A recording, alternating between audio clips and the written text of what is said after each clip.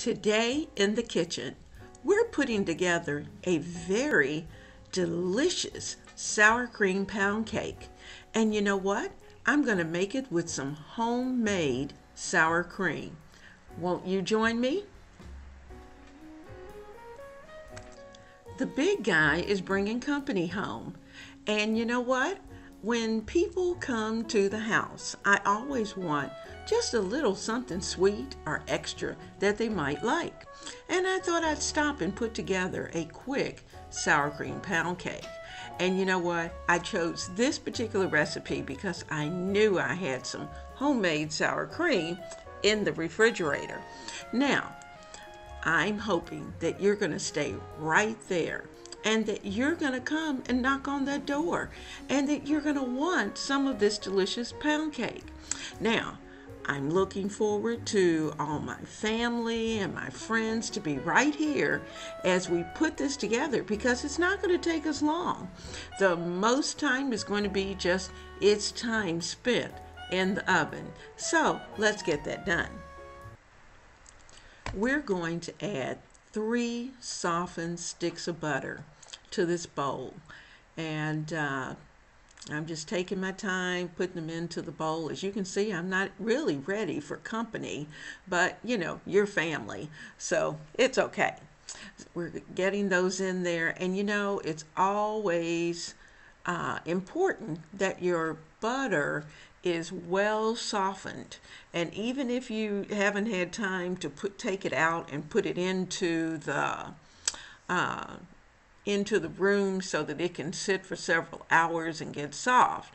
You can throw it into the microwave and put it on maybe 30 seconds to a minute.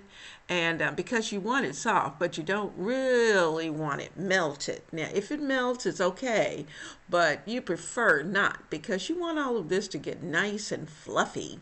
So I'm just taking my time and what I'm doing is that because the butter was so soft I uh, I'm having to uh, use my fingers and just squeeze out whatever was left on each of those pieces of paper.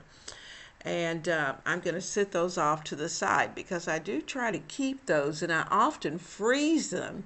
So should I need them for oiling a pan uh, or oiling, oiling whatever it may be, I can use it. I'm adding in our three cups of sugar because you know we always want to cream that butter and sugar and you want to beat that butter and sugar until it is absolutely well whipped. So we're just going to take our time. We're going to beat and beat and beat. And uh, we're going to make sure that our mixture is nice and fluffy. Now, once it gets fluffy, and it does take a little while for all this to come together, and I mean, you want it to look almost like whipped cream. And so uh, I'm just making sure that I get all of the sugar, and uh, because I put the butter in first, there probably isn't much uh, sugar on the bottom but we don't want any butter sitting on the bottom either. So I'm taking my time and making sure that I whip this well. And notice that I'm turning the bowl as I go and letting it whip and move around the side. Now, if you get a lot on your sides that you're not able to uh, kind of scrape off with your beaters, then you're going to need to get a spatula and bring all of that back down. But this seems to be working for me, so I didn't have to do that. You know, uh, a friend of mine called and said, Now you're doing what? Why are you making a cake for company? And you know, the reason is because they're coming from out of town. And you know, if they're just people who just kind of drop by, then unfortunately, you know, unless I have something that I may have already prepared, then I probably would serve them that. But this has to be special because we haven't seen them for a long time. Now let's get those eggs in and we're going to add them in one at a time. Now normally I would take the time to put the uh, crack the egg, put it into a bowl and uh, so as to avoid the shells. And we're and I'm trying to do it uh, a little fast, so because of that, I didn't do that. And we're going to whip in between each egg. And you saw that we have six eggs that are going to be going into this mixture. Now, I'm going to just continue to add those. And uh, if I see that there's a real eggshell problem, then guess what? We're going to have to pull out the bowl. But I was trying, trying my best not to dirty up anything else. So we're just going to uh, get those good and whipped. And you're going to see how beautiful this mixture becomes. Now let me tell you, when we've gotten all these eggs in, this mixture is gold. It's going to be beautiful. It's going to be a little heavy and um, because it does have all of the eggs. So I'm just going to continue to add those. And uh, once we've done that, uh, we can start to handle the flour. Now what I did do, just to save us a little bit of time, is that off screen I went ahead and put together the three cups flour. Um, I added in the salt and the baking soda. All of that's already been done. So when I add that to this mixture after it's well mixed, then I will um, go ahead and uh, put that in and give it just a very brief very brief, like one, two, three, maybe five turns, if that, with the mixer, because I do not want my cake to be tough. And you know, if you overbeat the flour, the gluten's going to start to set in. And that's not what we want. We want a delicious sour cream cake. Now, the fun thing today is that I had made this sour cream. And you know, the funny thing is, once you make sour cream, you have to find all kinds of things to use that sour cream for. So I am uh, using some of my sour cream today in this uh, recipe. And uh, you'll see it's beautiful. It turned out better than anything you can find in the store. And it was so easy to do. Now, it's easy to put together but it does take time. It has to sit for a certain amount of time. And so um, one of these days I may put that homemade sour cream together right here on the channel so that you can see what to do and uh, start making your own because it is very, very uh, beneficial to the body. It has live cultures, live active cultures. And you know, we all need as many probiotics as we can possibly get in our body to keep it processing the way it's supposed to. So, because of that, we want to make sure that um, we're gaining those probiotics and not necessarily by having to take any type of pill or liquid to, to get those.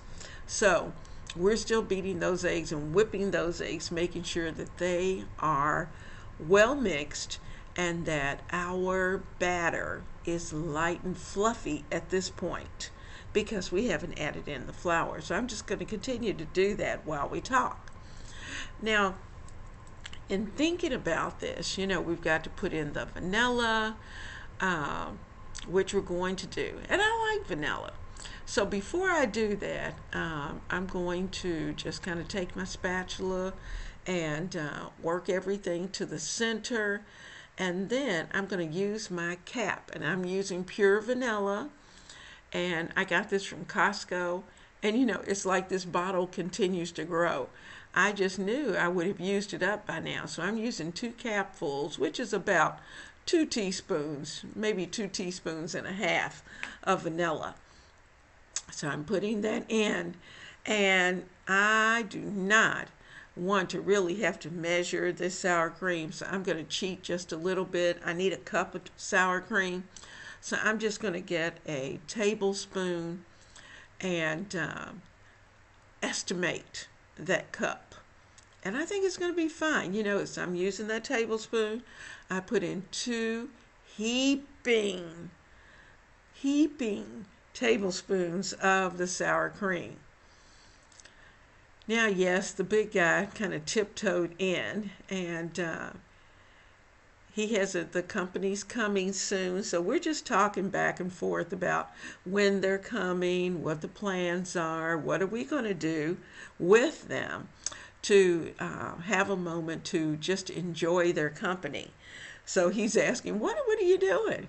And I'm letting him know that I'm preparing a cake so that we can serve some dessert. Now, I just happen to have some really good strawberry ice cream in the freezer, and I have some butter pecan. Mm, I think that butter pecan is going to be perfect with this cake, as well as the strawberry ice cream, too. I'm the strawberry fan, I have to admit. So I'm getting all of that ready. And you notice we still have not put that flour in. We're just making sure that our mixture is well mixed. Now, I know some re- recipes say to put the sour cream in after you've beat the flour, but I'm that kind of girl. Get it in there, get it in there, and then do what you have to do. So I'm not always totally orthodox. My oven has preheated and I'm putting it on 325 because of the amount of sugar in this in this uh, cake. We do not want to turn that oven up too high because it will brown too fast. So we're going to uh, get that oven set and while I'm finishing uh, the mixing, the quick mix of this flour, getting it into the pan, we're going to put it into the oven. So you notice I'm going to take my time. Like I said, I don't want to over mix it. I just want to bring it together and then I'll pretty much finish it up by hand.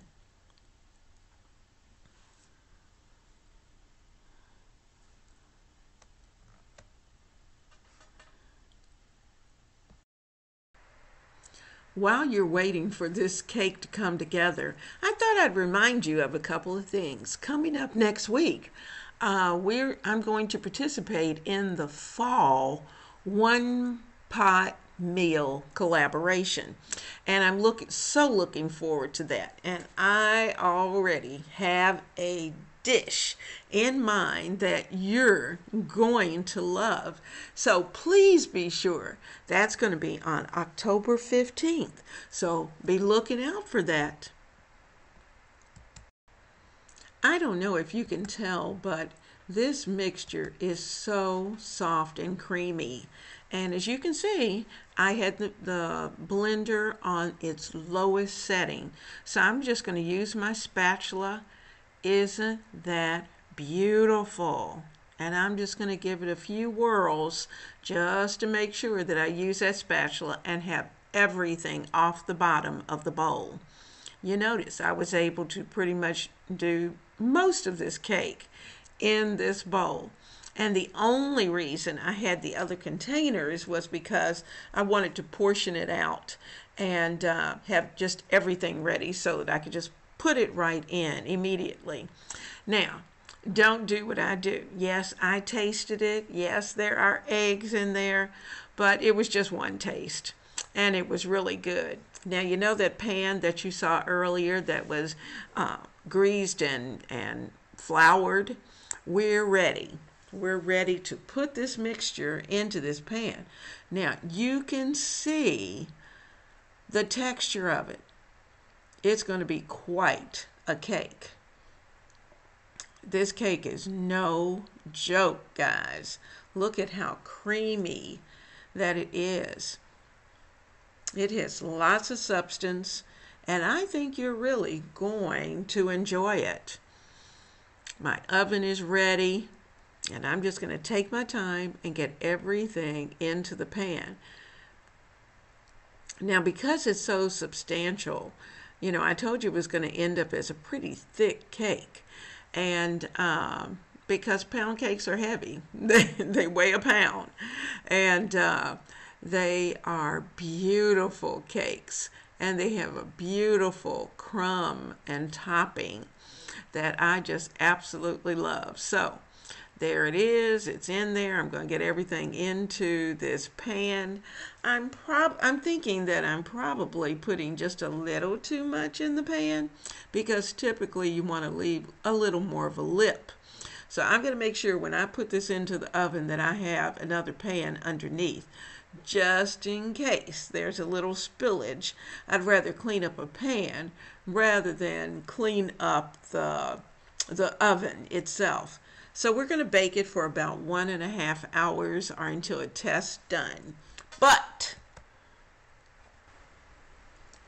oh no, I haven't baked in this oven for two summers. And, you know, something happened. I had an epic boo-boo. And the and that problem was the fact that my oven did not heat evenly. Ah, and my cake had one side that fell. Oh no, I am so upset with that. But you know what?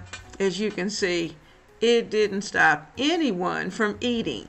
So let me tell you, girls, when you bake a cake and it's good, you just ignore that little side that didn't look so pretty slice the rest of it, it will disappear. So, have a blessed and wonderful dessert tonight. I have certainly enjoyed having you here in the kitchen. And you know, it's always fun when you are here with me, side by side, and we're making something wonderful in the kitchen for the kitchen. Because you know, we are loving on our families and we're making changes and positive changes in our family, one meal at a time. I'll see you soon.